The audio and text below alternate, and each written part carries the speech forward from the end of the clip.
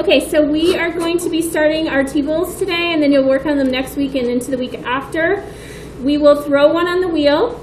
I will do about eight students a week, so with your class, that'll take us about three weeks, maybe a little more.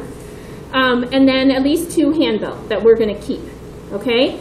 Your requirements on these new signs that I got are, it holds, it should say six to eight ounces. Your pinky is about a quarter inch thick, so the walls or sides should be a quarter inch thick. It needs a nice round base to your tea bowl. Okay, so we don't want a flat base like this one. We want a nice round base. We're also going to cut a foot into it, like this one. The rim needs to be smooth and not too thick, because you're gonna drink out of it. Wabi-sabi aesthetic, that means we don't draw animals or faces or words. It's all texture and design, carved designs, um, and nice and smooth in areas so we don't cut ourselves on it.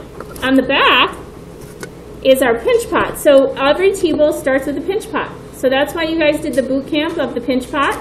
So it's good to try to hit for a three or four so that you um, won't have a really heavy, awkward pinch pot in the one or two here. So you can reference that to help you when you guys start to make them.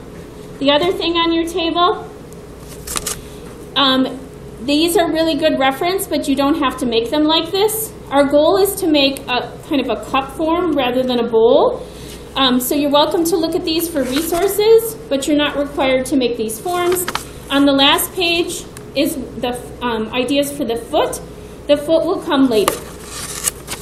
Okay, this is review for some of you. Please don't get your clay out yet, just watch me first, and then you guys can do this on your own. Most of the clay chunks are about a pound. Don't cut them in half. Watch me first, okay? So we have to wedge the clay. So to wedge the clay, just watch. You kind of pound it a little to soften it. You don't have to use the slab mat, it just moves all over, but if it's sticking to the table, you can use it. And then this is the wedging motion. Your hands are on this side, and it's a quick little bend of the wrist and shove. This gets the air bubbles out and softens the clay. So what we're going for is a ram's head. Okay? Quick little shove, ram's head. Okay? You're going to do that about four or five times. Then cup your hand and cup the other hand. Keep it in your hands. Don't set it on the table because we don't want a flat bottom.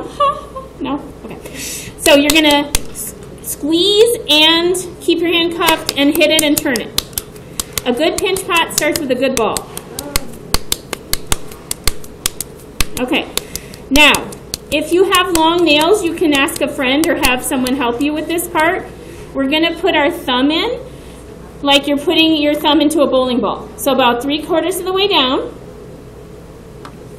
Okay? Now, when we pinch it, we don't want it to go out like a bowl. So you want to keep your hands flat like this, not like you're pinching. Flat. And then you want to keep them tilted in. If your hands are tilted out, it'll go way out like a bowl. So the motion is in your hands, not on the table. Pinch, turn, pinch, turn. The finger marks are good. That's that wabi-sabi aesthetic. So what we're going for is the thickness of your pinky. If it starts to crack, your clay's losing a little bit of its plasticity, then just smooth it with your finger or leave the cracks. It's okay. That's the wabi-sabi. Once you get the good basic form, pinch your rim a little thinner, maybe a little thinner than your pinky because imagine putting your mouth over a rim that thick. The liquid would dribble down your chin. Once you've got this basic pinch pot form, the base can be a little thick. It's meant to be round. Don't tap it on the table today. You're going to put your name and class shape on it. Don't use these loop tools. You'll use your needle tool.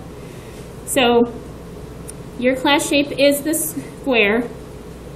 And then you're going to put it by one of the sets of fans. The fans are on the counter. There's some over by the cookie cutter over there, upside down the by the fan until it gets leather hard.